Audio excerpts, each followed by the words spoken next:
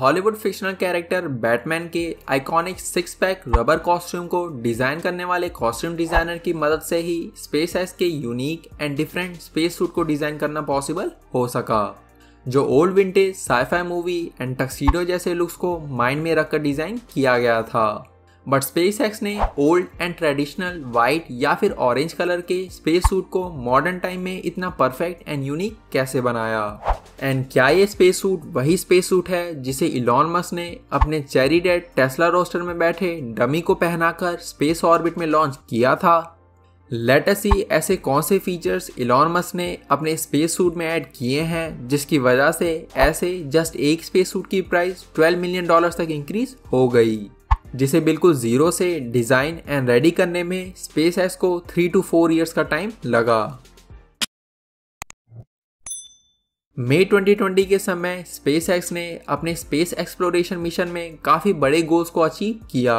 And space में interest रखने वाले लोगों ने इस अचीवमेंट के हाईलाइट्स ज़रूर देखी होंगी, जिसमें former NASA astronaut Doug Hurley and Bob Behnken ने फ्लोरिडा से इंटरनेशनल स्पेस स्टेशन के टेस्ट फ़्लाइट में पार्टिसिपेट किया, जिन्होंने स्पेस एस के फैल्कन एंड रॉकेट और स्पेस एस के क्रू ड्रैगन कैप्सूल के लिए हिस्ट्री तो क्रिएट की।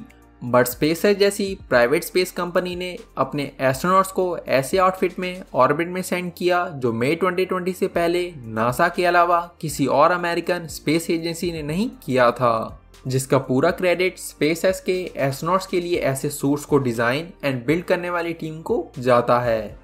बस स्टार्टिंग में इलॉन मस्क एंड स्पेस के क्रू के अलावा पब्लिक के अकॉर्डिंग स्पेस के ये स्पेस सूट सस्ते स्ट्रॉन्ग ट्रूपर्स या फिर किसी फॉर्मूला वन टीम का आउटफिट माना गया।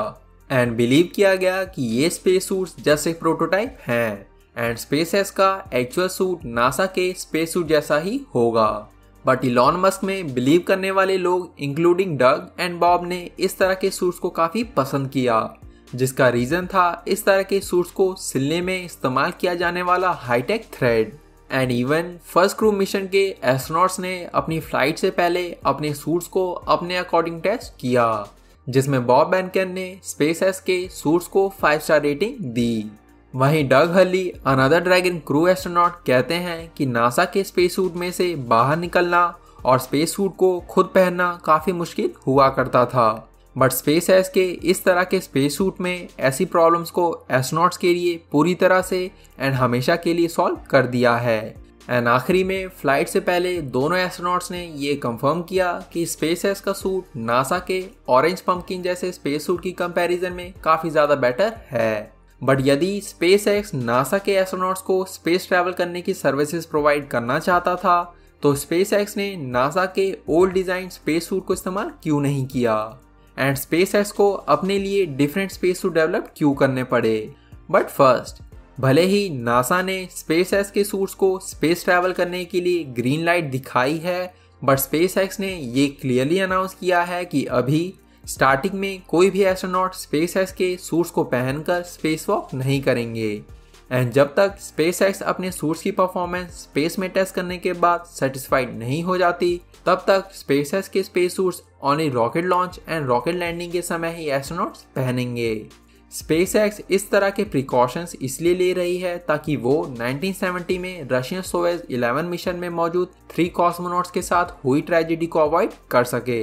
बिकॉज़ लैंडिंग के समय रशियन सोवेज मिशन में involve three cosmonauts Georgy Dobrovolsky Vladislav Volkov and Viktor Patsayev की डेथ लैंडिंग के समय स्पेसक्राफ्ट में डीकम्प्रेशन यानी कि प्रेशर लेवल में इंस्टेबिलिटी होने के कारण हुई थी। इसलिए स्पेस एक्स ने ऐसे स्पेस सूट डेवलप किए जो ऐसे डीकम्प्रेशन में एस्ट्रोनॉट्स को प्रेशर इंस्टेबिलिटी के समय अर्थ की तरह इमरजेंसी बबल प्रेशर प्रोवाइड कर सकें। एंड इलॉन मस्क ने इस फीचर को काफ़ी अच्छे से भी टेस्ट किया है। बिकॉज़ इलॉन मस्क कहते हैं कि उन्होंने अपने space suits with astronauts inside double vacuum pressure में काफ़ी अलग अलग तरह से टेस्ट किए हैं, ताकि किसी भी इम्प्रूवमेंट के चांस को स्पेस एक्स मिस ना करे। एस्ट्रोनॉट्स को डीकम्प्रेशन जैसे सिनारियों में सेफ़ रखने के साथ ये स्पेस सूट्स फ्लेम प्रूफ बनाए गए हैं। जो ऐसी प्रॉब्लम्स होने पर एस्ट्रोनॉट्स को सूट में मौजूद पाइप्स की मदद से कूल एयर प्रोवाइड करेंगे। इस तरह की ठंडी एयर एंड सूट में अर्थ की तरह प्रेशर क्रिएट करने के लिए स्पेस एक्स के स्पेस सूट में ऐसी पाइप्स स्पेसक्राफ्ट में लगी चेयर से कनेक्ट होंगी। इस तरह का कनेक्शन सूट एंड स्पेसक्राफ्ट की चेयर में क्रिएट करने के लिए स्पेस एक्स ने अम्बेलिकल कोड का इस्तेमाल किया है, जो स्पेस सूट में लोअर लेफ़्ट साइड में बनाया जाता है। जहाँ से स्पेस सूट को चेयर से कनेक्ट करने के साथ साथ एस्ट्रोनॉट्स के सूट्स को इलेक्ट्रिकल एंड कम्युनिकेशन केबल से भी कनेक्ट किया जाता है। कुछ लोगों ने रॉकेट लॉन्च को काफ़ी करीब से, वहीं मेरी तरह ज़्यादातर लोगों ने ओनली कंप्यूटर स्क्रीन पर देखा है। बट दोनों विजुअलाइजेशन में एक चीज़ काफ़ी अंडरस्टैंडेबल है। वो है रॉकेट लॉन्च के टाइम होने वाला इग्निशन जो पूरे रॉकेट को काफ़ी स्ट्रांगली शेक करता है। जिसकी रियल फीलिंग ओनली रॉकेट के अंदर बैठे एस्ट्रोनॉट्स डिस्क्राइब कर सकते हैं।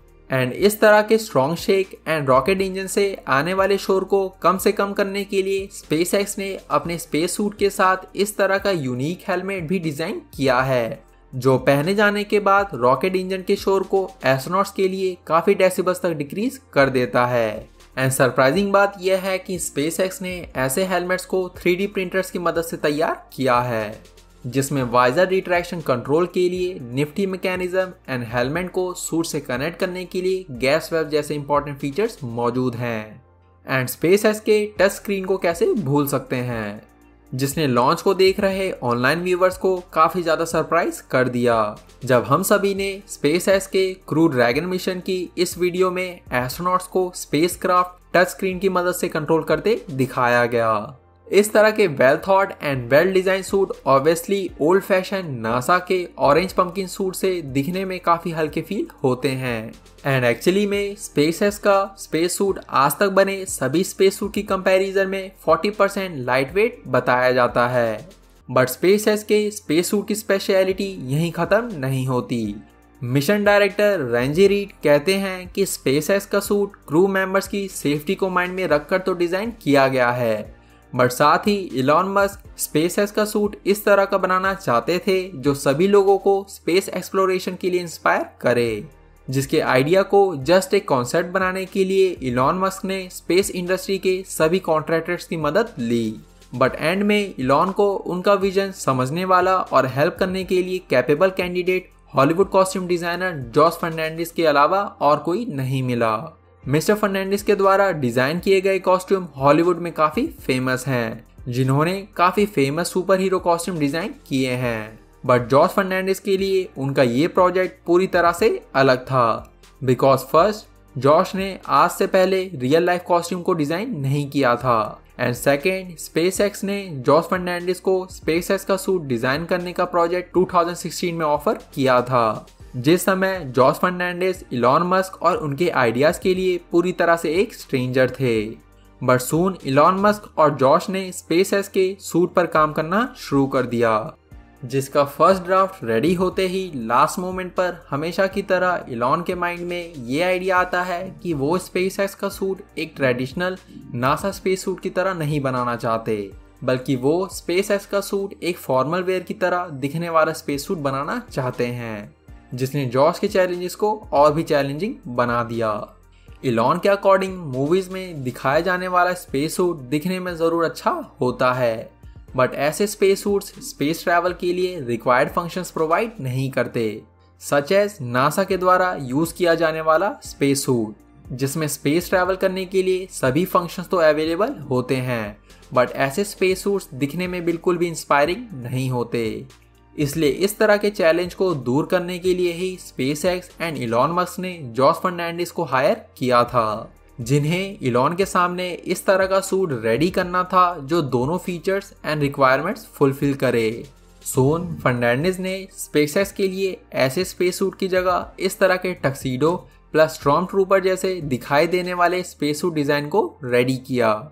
स्पेस एक्स के स्पेस सूट के साइड में ऐसे ब्लैक कलर के पैनल्स लगाए गए हैं, जो स्पेस सूट को टैपरिंग इफ़ेक्ट यानी कि फैब्रिक में आने वाले फोल्ड्स को हाइड करने में हेल्प करता है। जो स्पेस एस के सूट को एक फॉर्मल एंड क्लीन टक्सीडो का लुक प्रोवाइड करने में मदद करता है, जिसके छोटे टाइप को स्पेस सूट में सेम पर्पस के लिए शोल्डर एंड अदर पार्ट्स में भी इस्तेमाल किया गया है। जिसे कंप्लीट करने के लिए इस तरह के बड़े बूट्स एस्ट्रोनॉट्स को पहनाए जाते हैं, जो अगेन सेम फैब्रिक से बनाए गए हैं। इवन फ़र्स्ट टाइम स्पेस के स्पेस सूट के प्रोटोटाइप को देख बहुत से लोगों ने स्पेस सूट के स्लिम होने के कारण एस्ट्रोनॉट्स की सेफ्टी के लिए क्वेश्चन पूछे। ऑब्वियसली स्पेस के space suit traditional space suit से काफ़ी डिफरेंट हैं। इसलिए इलॉन को एंड में क्लैरिफिकेशन इशू करना पड़ा कि उनका ये प्रोटोटाइप एक्चुअली में रियल सूट का एक्चुअल एग्ज़ाम्पल है not just a sample space के क्रू इक्विपमेंट मैनेजर क्रिस का कहना है कि स्पेस का स्पेस सूट जस्ट एक हार्डवेयर नहीं है।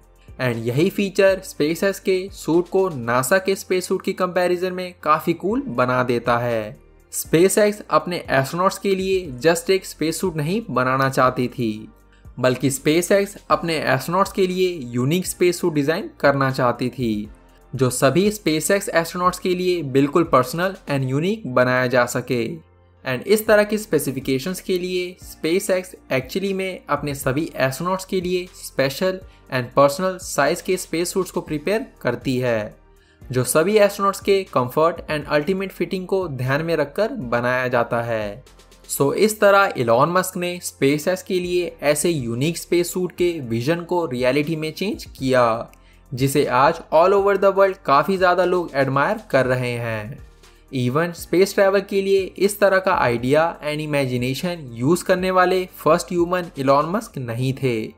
नासा के मरकरी मिशन के समय इस्तेमाल किए गए स्पेस सूट शुरुआत में मिलिट्री कलर यानी कि ग्रीन कलर के बनाए जाने वाले थे। बट लेटर नासा ने अपने इस डिसीज़न को चेंज कर दिया। एंड ग्रीन की जगह नासा ने सिल्वर को यूज़ करना बेटर समझा। जिसका रीजन केवल सिल्वर का बेटर रिफ्लेक्टिव प्रॉपर्टीज़ नहीं, बल्कि सिल्वर कलर ग्रीन कलर की कंपैरिजन में नासा के स्पेस सूट को ज़्यादा awesome and futuristic look provide कर रहा था। इसलिए नेचुरली इलॉन मस्क भी इस तरह की इमेज एंड ब्रांडिंग का ख्याल ट्वेंटी सेंचुरी में भी रखना चाहते थे। जो किसी भी ब्रांड के लिए नाव ब्रांड के प्रोडक्ट जितना ही इम्पोर्टेंट हो गया है।